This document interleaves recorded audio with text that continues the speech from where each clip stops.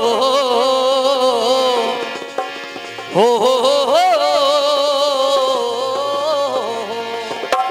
जय हो। गीत आया आपकी तरफ़ से। किसी ने कहा है?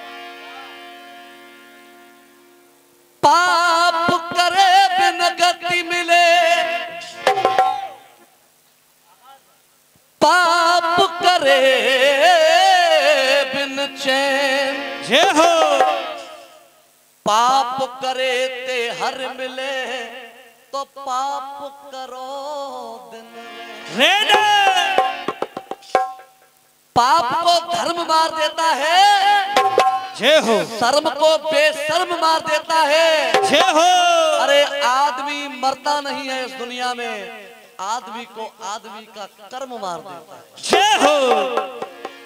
फिल्मी दुनिया वालों ने एक गीत गाया कौन सा? किसी ने कहा था।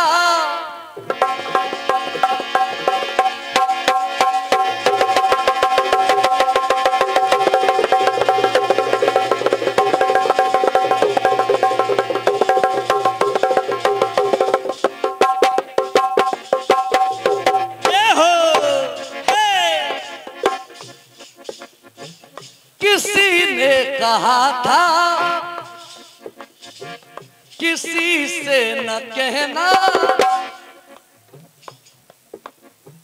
लगे चोट दिल पर तो खामोश रहना।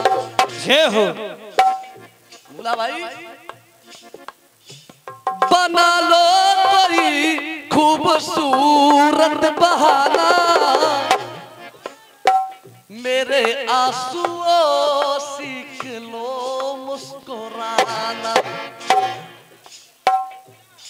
आप बाकी में जवाबी बड़े ध्यान पूर्वक सुन रहे हैं। तो भैया की तरफ़ से अब इसको मत दो। रहने दो मामला सुस्ती का नहीं है अब कुश्ती का है। हाँ। भैया ने एक बात कही उधर से। मस्जिद से देखो कुरान की खुशबू आती है।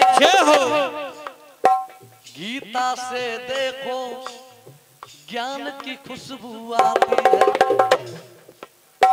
भारत की संस्कृति से सम्मान की खुशबू आती है। मेरे देश की माटी में हिंदुस्तान की खुशबू आती है। हो। भैया ने कहा था उधर से। चार बातें कहीं सम्मान की खुशबू आती है। चाचा जी मैं निवेदन करूँगा बैठ जाएँ आप। दो मिनट आप बैठे। सम्मान की खुशबू आती है। हिंदुस्तान की खुशबू आती है। कुरान की खुशबू आती है। ज्ञान की खुशबू आती है। सुनिएगा। अब मेरा जवाब क्या है?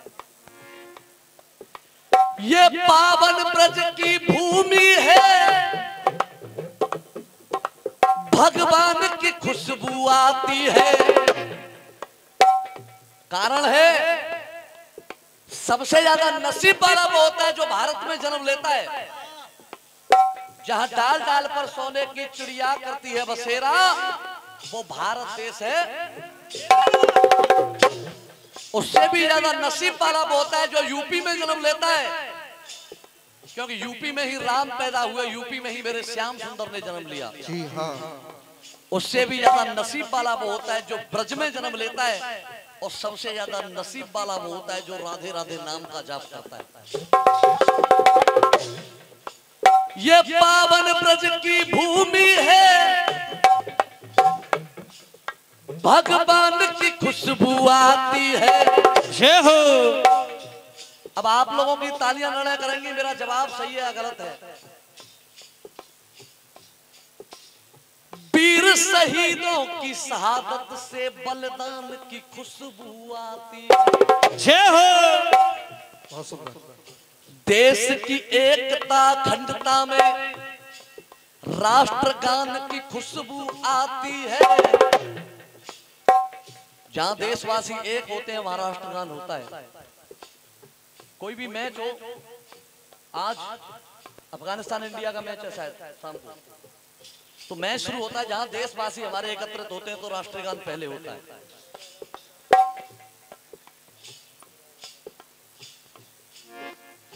देश की एकता, अखंडता में राष्ट्रीय गान की खुशबू आती है। और अब आप लोगों की तालियाँ हो जानी चाहिए, कहने की ज़रूरत नहीं है। रामायण के हर पन्ने से रामायण के हर पन्ने से हनुमान की खुशबू। आप कह रहे थे उधर से?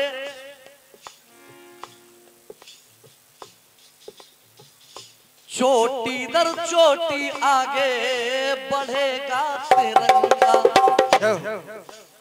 दूसरी पंक्ति कही आपने 144 करोड़ों की जान है तिरंगा। मैं मानता हूँ जान है तिरंगा। लेकिन इस भारत के अंदर कुछ लोग ऐसे भी हैं जिनको ना तिरंगे से कोई मतलब है। न भगवान राम से कोई मतलब भगवान श्याम से कोई मतलब। आप लोगों ने देखा होगा बड़ी बड़ी रैलियाँ होती हैं हर पार्टी की मैं किसी पार्टी का नाम नहीं ले रहा। बड़ी बड़ी रैलियाँ होती है जिसमें एक एक डेढ़ डेढ़ लाख आदमी जाता है ताऊ जी। मैंने अपनी आँखों से देखा है। छोटे छोटे तिरंगे पकड़ा दे, दिए जाते हैं। रैली में आए हुए दर्शकों को छोटे छोटे तिरंगे पकड़ा दिए जाते हैं। जब वो रैली खत्म होती है, वो मेरे देश के गौरव का प्रतीक पैरों तले रोदा जाता है उस रैली के बाद। तमाम तिरंगों को मैंने रैलियाँ खत्म होने के बाद पैरों तले कुचले हुए देखा है। तिरंगा हमारी एकता और अखंडता का प्रतीक है, हमारे गौरव का प्रतीक है, हमारे बुज़ुर्गों ने न जाने कैसे कैसे इस तिरंगे को बनाया है। हर मन का फेर है, ये कर मन का फेर है। ध्यान देना मेरी लाइन पर। भंगा में भजन है या भजन में ही भंगा है?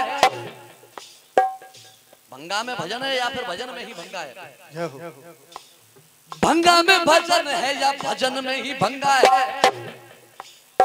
पुण्य कर कमाइए, गंगा में नहाइए। अब सोचने का विषय है। गंगा में पुण्य है या पुण्य में ही गंगा है? या तो गंगा नहाने से ही पुण्य मिल रहा है या पुण्य करने से ही गंगा नहाने का फल प्राप्त हो रहा है? पुण्य अगर कमाइए तो गंगा में नहाइए। गंगा में पुण्य है या पुण्य में ही गंगा है। चारों तरफ़ कोहराम, इंसान बना शैतान। दंगे में है आदमी, या आदमी में ही दंगा है।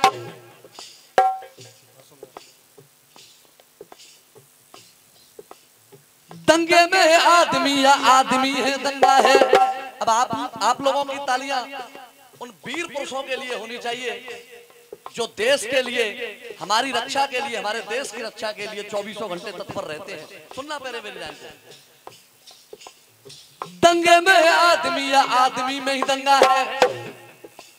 सीमा में रहता है, हर कष्ट सहता है। तिरंगे में फौजी या फिर फौजी में ही तिरंगा है। अब भारत का वीर कहेगा तो क्या कहेगा? ये अनगिनत पुरस्कार आया बार बार चरणों में नमन बंधन है। बन्नो भैया, हर बार जन्म मिले मुझे भारत में। अंतिम सांस चल रही है फौजी की। फिर भी अंतिम उद्गार क्या है उसके वीर गति प्राप्त होने से पहले? हर बार जन्म मिले मुझे भारत में। भारत में चैन और मेरा देश हमेशा सुरक्षित रहे हमेशा शालीनता के दायरे में रहे हमेशा मंगलचार मेरे देश में होते रहे। भारत में चैन और अमन चाहता हूँ। और वो फौजी कह रहा है मुझसे ज़्यादा गौरवशाली कोई नहीं होगा। क्यों? मैं तन पे तिरंगे का कफन चाहता हूँ। तन पे तिरंगे का कफन चाहता हूँ। तिरंगे का कफन चाहता हूँ। आप लोगों ने देखा होगा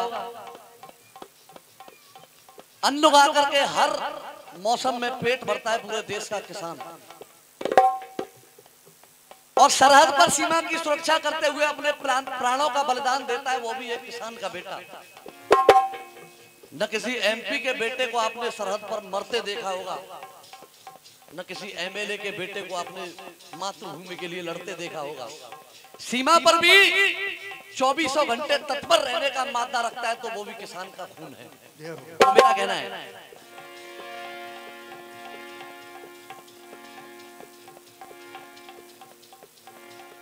नज़र नहीं पड़ने देंगे।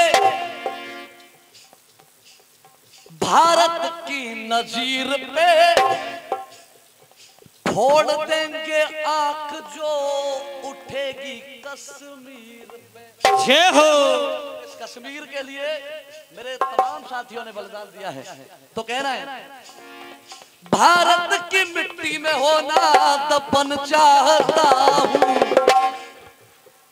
मैं तन पे तिरंगे का दफन चाहता तन पे तिरंगे का दफन चाहता हूँ। मैं तन पे तिरंगे का दफन चाहता बहुत बहुत धन्यवाद। आइए।